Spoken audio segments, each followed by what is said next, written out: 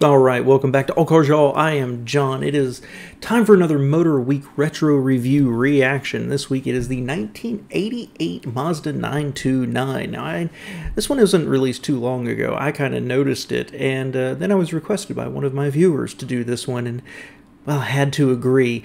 Not my favorite body style, I'll be honest with you, but I'm excited to see well, what was the top of the line Mazda like in 1988. So, as always, grab your beverage of choice. Let's sit down and take a trip down memory lane to 1988. is made possible by Lucas Oil, Auto Value and Bumper to Bumper, and TireRack.com. Japanese car manufacturers have long based their reputation on low profit, high volume economy cars.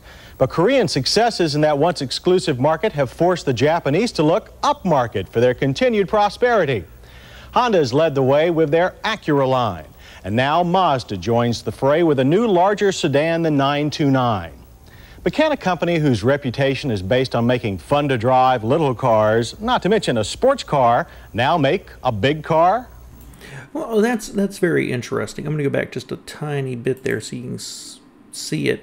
Looks like he's just filming this at a dealership. That's that's kind of cool. But um, interesting, he blames the Koreans there um, for the the makes moving up market. Uh, it was really more of the voluntary uh, import restrictions that the Japanese agreed to uh, to move up market for higher level profits. I'm not sure that the what was it 85 86 introduction of the um, Excel really was the impetus there. But anyway, uh, and it's interesting to think that in 88 here, um, Mazda, Toyota, and Nissan were all working on launching their luxury brands. Now, of course, Toyota got Lexus, uh, uh, Nissan got Infiniti, and Mazda got hit with a debt crisis and couldn't launch the Amati brand, uh, which is great, great shame.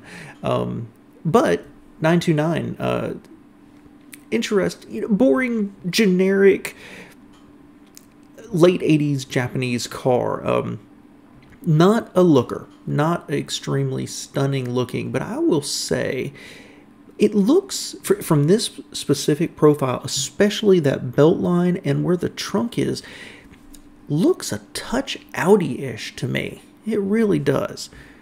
But let's see what they say. There's no doubt that the 929 is a big car. At 193 inches long, over 66 inches wide, and a wheelbase as long as the Ford Taurus, it's easily the biggest car in the Mazda inventory. But it's by no means an entirely new model. The 929 has been sold in Japan as the Luce for a number of years, and it outsells the Acura Legend sedan in the Japanese luxury car market. That's really interesting. That first off, this is a much bigger car than I expected. The Taurus to me always looked big, but then there were some cars like this one, obviously, and the Eagle Premier that although dimensionally they were quite large cars, they always looked a little bit smaller. I never would have placed this um, anywhere close to that large. Uh, I always thought it was a 626, slightly bigger. Um, anyway, uh, styling, front styling, okay. Honestly, you tweak a couple of things, eh, it looks like a Nissan. Um, interesting, it sells, outsells uh, in its home market. I just, I don't know. It's it's it's okay. It's just I, I like the later ones, I guess. But this is this is okay. It looks honest. The word I'm looking for is it looks like an honest car. It's just car. But Mazda really wants to beat European and American models here. And to that end, the 929 has been given a rather European skin. Unfortunately, it's one of the blandest Euro stylings that we've seen from any Japanese company. Yeah, not not their high point. I mean, if you look at the side view there, and then you look at it, it it not only looked ever so slightly Audi-ish, but like the proportions were a little dorkier. Um, also, it looked ever so slightly Volvo like 740 ish. Um, I don't know, just it, it's not a very exciting looking car. The only real character is in the front end, with its flush, rounded light assemblies and unique cheese cutter grille. The 929's power comes from a strong, silent 3-liter single overhead cam V6 that produces 158 horsepower and 170 pound-feet of torque.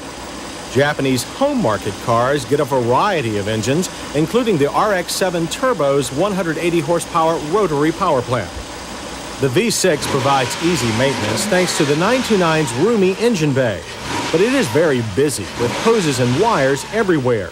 And as in most Japanese cars, the fluid reservoirs are rather poorly marked. That V6 pushed the rear drive 929 from 0 to 60 in a very respectable 9.4 seconds.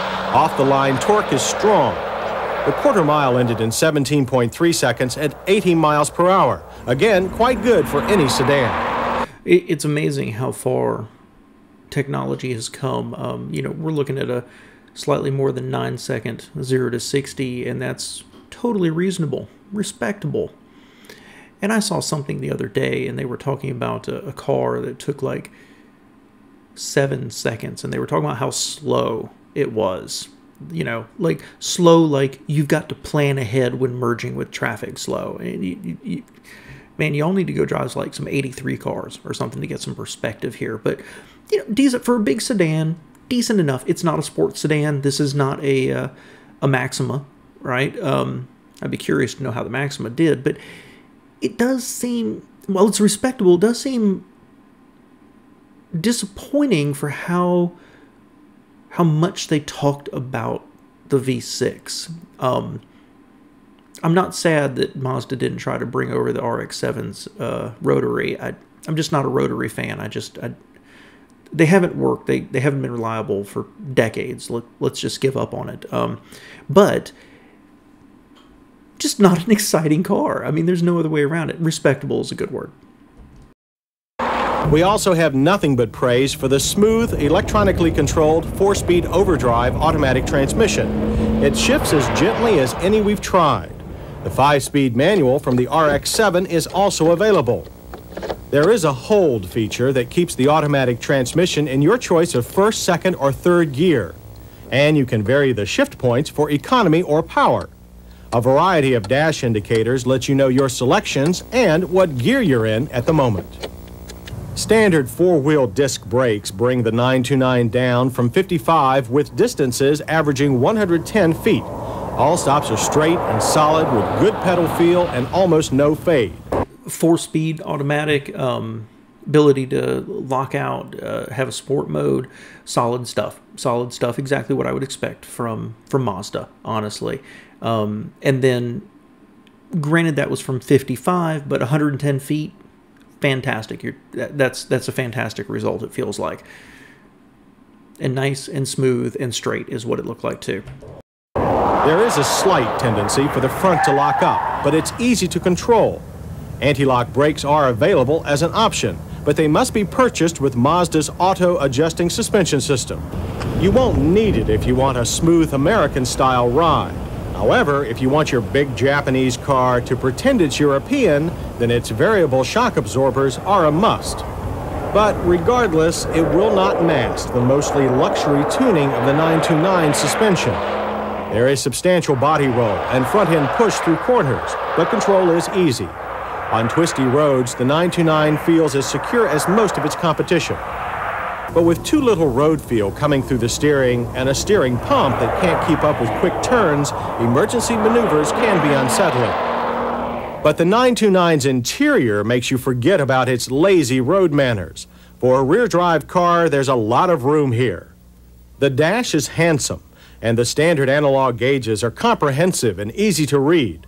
Unfortunately, their layout means that the steering wheel blocks the driver's view of both volt and temperature gauges. An electronic digital unit is an option. Um, interesting. So they, they've got a, a car, and obviously it was a home market car that I don't know the history of the the the platform this is based on, how old it is. This feels old to me. You know what I mean?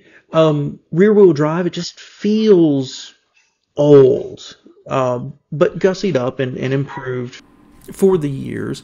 And, you know, I don't know. I'm just I'm not excited about this car. That's what it boils down to. I'm trying to find nice things to say, and I'm having trouble. It, it, feels like an old platform, an old design, and while it sells well apparently in Japan, I'm having trouble see why. Um, red seats, red interiors. I, I'm so glad red interiors are gone, but at least they did something expressive, right? They're not all boring black like we see today. This is a mess of a dash. Now, to put a positive spin on it, it does take the Japanese approach of big, big sections of plastic all formed at the same time. And I got to admit, I kind of dig the instrument cluster being longer horizontally and, and having more gauges. I think that's kind of cool. But the number of buttons and then three vents, yeah, and then this mess beneath it, and then the radio, and it just is all choppy and chopped up.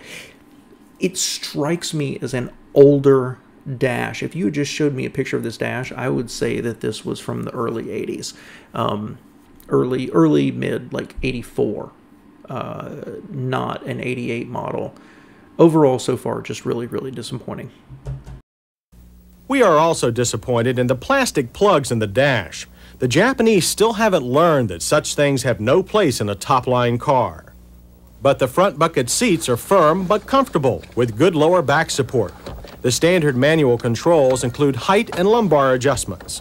A six-way power seat is also available and comes standard if you order the optional leather seats. But a tilt steering wheel is standard. And true to Japanese form, there is a high level of standard equipment on the 929, including a cassette stereo, it features a Toyota-like graphic equalizer that is preset for different kinds of music. Automatic air conditioning is also standard. Unfortunately, the controls are a little confusing. There are just too many buttons to push. Automatic climate control. That's really cool. That's a nice touch. I kind of like the equalizer. Those are those are cool. I kind of miss those. But just all the ergonomics here just look like an absolute mess to me. In the rear, wide opening doors allow easy entry to a spacious and comfortable seat wide enough for three adults, even on long trips. And outboard shoulder belts are standard. We also liked its rear windows that roll all the way down, something most U.S. competitors can't manage. You know what? And that's worth mentioning. Um, this comes up every once in a while. You see it, and it always bothers me why people sometimes it's the where the rear wheel is and there's just not space to get the window down. But you do see cars where they've got the door space and they just don't bother to make it all the, go all the way down, and it feels like a we get to save 10 cents per car by not doing it that way you know, they spoke rather highly of the rear seat there, but it looked kind of tight to me. Honestly, I mean, he, he had room between his knees and the back of the front seat, but when he sat there with his legs, they they were up under the seat. I, it, I don't know. That I, I think they're being fair to this car. I really do. Of course, a full load of adults will need space for their things. Well, the 929 has luggage space in spades. The remote opening trunk is wide and deep with a very low liftover. The Mazda 929 is EPA rated at 19 city, 23 highway. We manage 20 miles per gallon on our mixed test loop. As for price, the 929 starts at $18,950. Our test car comes to $19,769 with options. As for competition, the Mercedes-Benz 190 costs much more, but it does offer better handling and more refined styling. The Pontiac 6000 STE cost about the same, but has a little less power. It does, however, offer anti-lock brakes as standard equipment and handles. I, am glad they gave two competitors. You know, they don't always do it through the years.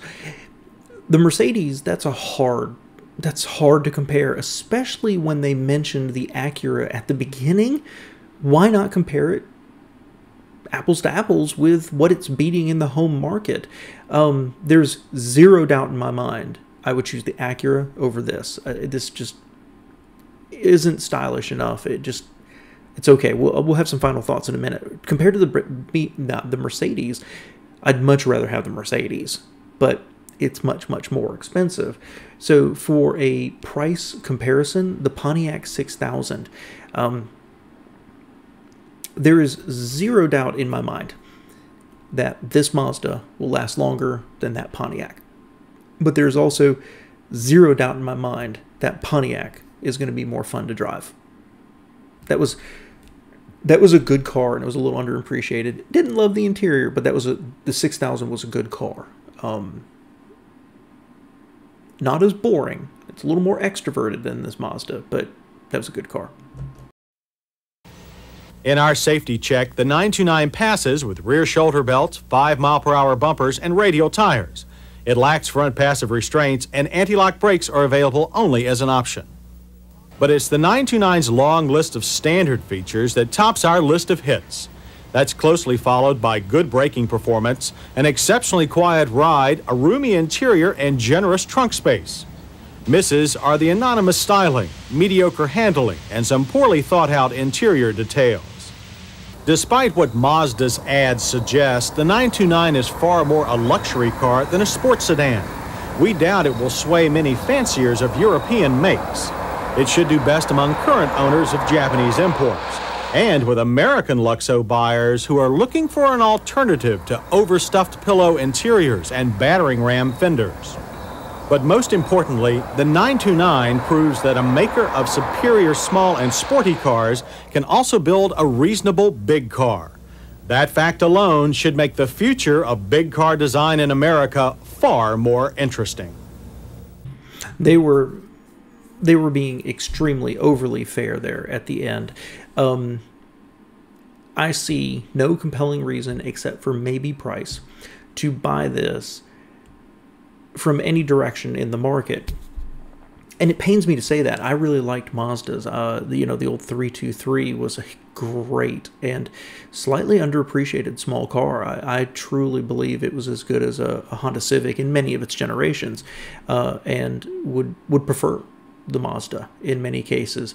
Um, the 626 was very, very good, but just never quite as appreciated as the the Accord and the Camry, or you know even the Stanza, and then later the Altima. Um, the 929 it, it got better, and the later ones were really good, but Mazda never quite reached excellence with it.